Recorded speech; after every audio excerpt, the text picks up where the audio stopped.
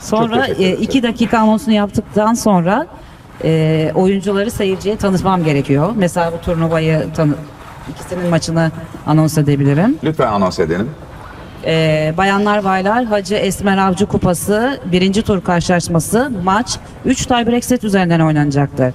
Sandalyemin sağ tarafında Türkiye'den Çağla Büyükakçay, sandalyemin sol tarafında Romanya'dan Andrea Prisakariu. Kura atışını Prisakariu kazanmış olup karşılama hakkını the toss and elected to receive. Bir dakika, one minute. Sizde bir şey de oluyor, sertleşme de oluyor. bu. Hakemlik sertlik gerektiriyor. Yani, ya burada bir otoriter, Evet. otoriter bir konumunuz var. Evet. Sonra Bir dakika anonsunu yapıyorum. Sonra 30 saniye. 30 saniye bittikten sonra e, ısınma bitmiştir anonsunu yapıyorum. Ondan sonra bir dakika süreleri var maça başlamak için. E, servis atmaya başlamak için. Bir dakika içinde hazır olmaları gerekiyor. Sonra geçiyorlar. E, hanımefendi karşılamayı seçmişti. Ben de e, Çağla başlayacak servise. Birinci set servis Çağla Büyükakçay. Ready, play deyip servis başlatıyorum. atın.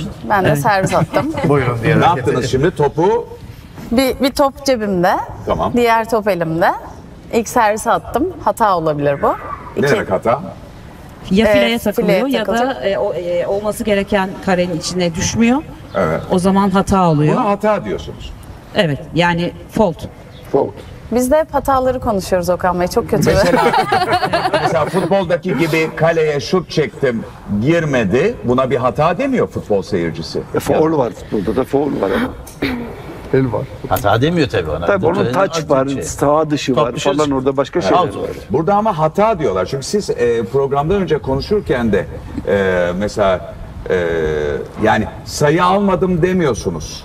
Hata diyorsunuz ona. Niye hata kelimesini kullanıyorsunuz? Belki orada eğitimle ilgili bir şey var gibi geliyor bana. Yok e, böyle uzun ralliler yapıyoruz e, ve sonunda Yani hata denmesinde aslında galiba eğitimin yani geleneksel olarak şöyle bir şey var. Baştan nasıl oyuncu e, kendisinin de hakemi oluyor dediniz ya. Burada da böyle bir bilinç var. Yani e, şut çekti girmedi. Faul yaptı başka bir konu. Faul başka bir şey. Ama topu kaleye attı ya da basket attı girmedi. Burada hata kelimesini kullanmıyor e, oyuncular. Burada oyuncu baştan bir kabulleniş var. Baştan bir yargı var. Hata yaptım diyor. Bu, bu, bu önemli bence. Puanı kaybettiyse yani karşı tarafa atmak zorunda. Ya da bir perfeksiyonizm mi var? Yani yani şöyle bir şey. Ee, mesela futbol ya da basketbol örneği verelim. Yani e, sanki sen topu atıyorsun, hedefin işte o kale ya da hedefin e, file. Ondan sonra ve burada sanki e, hani senden bağımsız bir takım etkenlerle oraya girmeyebilirmiş işte rüzgarmış, şuymuş, buymuş, başka falan. Fakat burada direkt olarak tenis oyuncusu başka hiçbir etkene maruz kalıp kalmaması önemsemeden hata diyor kendi yaptığı şey. Ben, ben bu eğitim olarak değerli buluyorum bunu. Baştan itibaren hata denmesi. Ve attığınız hata oldu. evet e, fileye, fileye eğer Net. gittiyse fileye gittiyse ya da e, dışarı çıktıysa hata. Sonra ikinci servisini Net olursa kullanıyor. net galiba Net geçiyor. tekrarlanıyor. Net olursa tekrarlanıyor. Aynen. Peki. Ee, sonra ikinci servis attım. İçeri girdi. İçeri girmezse çift hata demek. Yani yine aynı hata yaparsam çift hata yapıp puanı kaybediyorum. İçeri atarsam ralli başlıyor o zaman. İşte Ha buna rally diyorsun. evet. gel. Evet, rally. Git gel başlıyor. Ralli diyoruz. Evet. Sonra yani hata yapma şeklimiz işte sürekli hata dememizin sebebi karşı tarafa hata yaptırmaya çalışıyoruz ya da winner dediğimiz direkt puan almaya çalışıyoruz ama karşı taraf da çok mücadele verdiği için o winner'ı yapmak çok kolay olmuyor. Özellikle şu anda oynadığımız Toprak Kort turnuvasında Hacı Esmer e, Kupası'nda e, Toprak Kort'ta ralliler uzun sürdüğü için hep bir şekilde rakibe hata yaptırmaya Niye çalışıyorsunuz. uzun sürüyor toprak kortta ralliler? Ee, çünkü top daha yavaş, daha yüksek sekiyor. Ee, Betona göre daha mı çok? evet, betona göre daha yüksek sekiyor. Ee, vurduğunuz vuruşun e, hızı da daha az toprakta ve siz e, fiziksel olarak toplara kayarak yetişebiliyorsunuz. Ee, normal sert zeminde hızlı vuruşlar daha çabuk o winner dediğimiz direkt puan olabiliyor. Ama toprakta e, kayıp bir şekilde topu tekrar içeri at- attığınız için rallilerimiz uzun sürüyor daha çok. Sayın Başkan nasıl mümkün oluyor da bir sporun gelenekselinde hem toprak hem beton saha ikisi de ayrı turnuvaları yapılan ayrı eee, zeminler olarak kabul edilmiş ilkesel olarak. Hatta çim de var. Ha çim de var. Wimbledon çim normalde öyle. Evet. Ya şartlar eşitlendikten sonra aslında e, önemli olan oyuncuya aynı şartları sağlayabiliyorsanız zemin fark etmeze geliyor bu iş. Yani oynanabilir hale getirdikten sonra oyuncu kortta kalabileceğini, zeminin o top sekmelerini doğru yapabildiğinizde toprak, kart ya da çim ya da halı tarzında her zeminde oynanabilirliğini göstermek içindir bu ama her zemine göre de işte oyuncularımızın yüksek performansla oynayan sporcuların sevdiği zeminler vardır. Kendi fiziksel yapısına, kendi oyun e, anlayışına uygun toprak, hard, çim, mesela Federer çim kortu çok severdi. Çok hızlıydı. Servis, voley veya işte topun hızından kaynaklı. Nadal toprağı çok sever. Çünkü kendine daha zaman tanıyor. Atlet daha fazla koşup topa yetişebilme şansı var benzeri. Djokovic hard kortçudur. Aslında Çağla, her pardon sen hangi kortu seviyorsun? Çok Ben- özür dilerim araya girdim gibi. Ay iyi ki ya iyi ki. iyi ki. Sen hangi kortu Ben toprak kortta çok başarılı oldum. Yani bütün bu saydığınız şeyleri toprak kortta başardım ama e, sert zeminde oyuma oyunuma e, avantaj Toplar sağlıyor. farklı mıdır? Toprak daha yavaş gidiyor.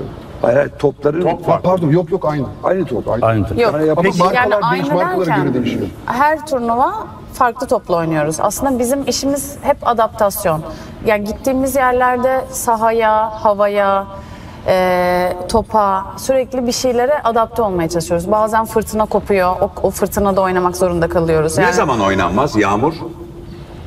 Ya tabii yağmur eğer oyuncuların artık göremeyecek, koşamayacak ve hard court'ta özellikle tehlikeli olabilecek düzeye kayacak endişesi olduğunu maçlar ertelenir. O da zemine göre değişiyor zaten. Toprak kortta, yağmurda oynanabiliyor. Peki sayı, sayılar niye 15-30 diye gidiyor? Mesela futbolda gol atıyorsun bir. Ne kadar basit değil mi? Hocam sayamadığı için futbol seyircisi e, tabii basitleştirmişler. bir iki. Niye 15-30 diye yani gidiyor? futbolda ona kadar saymasını bilenler izlediği için olabilir. Evet. Bak bunu devamlı aşağılıyor ya. Yani Peki niye böyle sayılar hakikaten? Evet. Var mı böyle bir Yani hani benim de bildiğim işte Fransa veya İngiltere'de doğmuş olduğu için farklı bir branş, farklı bir sayı biçimi işte 15'ten başlatıp böyle bir e, ritüel başlamış gelmiş diye biliyorum ben ama birçok şeyde Peki söyleniyor. hakeme soralım. Şimdi e, hanımefendi diyelim ki e, rally'yi başlatamadı. Yani iki tane servisini hata yaptı. İki serviste de hata yaptı. Ne oldu? Servis e, Andrea'ya geçti. Hayır. Ne oldu? Ee, ilk puan oynadı. Birinci oyunun ilk puanını oynadı. Ee, oyununu devam ediyor daha. İkinci e, 0-15 oldu. Puanı karşı tarafa aldı. 0-15 oldu şu anda. 0-15 oldu. Böyle söyleniyor. Yani e, kim servis atıyorsa o Önce onun puanı önce söyleniyor, onunki söyleniyor. 0-15 Bu- oldu. fu- Futbolcular anlayamaz bunu. Yani niye halbuki, halbuki başta büyük sayının söylenmesi gerekiyor. ama 0-15 orada bir karışıklık oluyor. Peki 0-15 oldu şimdi ikisinin Erman Toroğlu'na havale edeceğim bunu ben. tamam mı yani? Peki 0-15 sonra Şimdi ikinci servisini ikinci atacak. servisi atıyor. Evet. Niye servis ona geçmiyor? Oyun biti bir oyunda 4 puanı yani 40-0 ya da 40-40 beraber olup avantaj yani olması gerekiyor. Peki Oyunun devam ediyor. Şimdi lazım. 0-15 şu an. 0-15 şu Peki anda. sonra Şimdi ikinci servisini atacak. Yani ikinci puanını oynayacak. buyursunlar. Atın. Attım. Evet. Rally başladı. Rally başladı. Ha, attı, karşıladı. Evet, devam Tamam, ediyorlar. Kardan adam oldu. Devam ediyorlar. Hop koysaydın bari bir de bir Peki. koysaydınız. Aslında var. Evet. Nete Peki, benzer. Andrea karşıladı. Evet. Sonra Top Devam. gitti geldi, gitti geldi. Sonra ben vurdum. Forehand paralel. Winner. winner. Peki. Oldu 15. 15'er.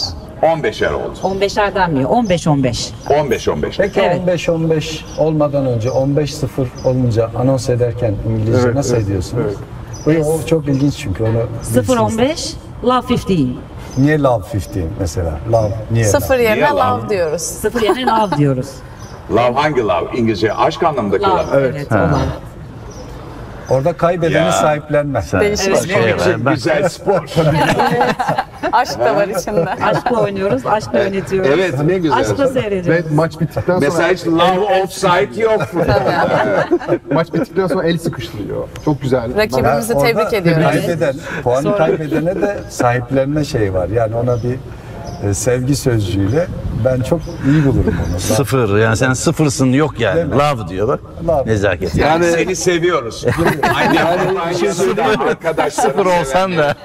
Şey ve 40 beraber olunca da ne deniyor? Ne deniyor 40 40 beraber? Deuce. Ne demek o? Berabere. Berabere. Deuce. Öyle bir şey dedim ki tam da berabere yani. Başka bir şey değil. Yani bir şey söyleyeyim mi? Tam Rasim Ozan Kütahyalı ile Erman Toroğlu tartışacağımız spor bu. Evet kesinlikle. Değil mi? Aslında keşke programa çağırsaydık.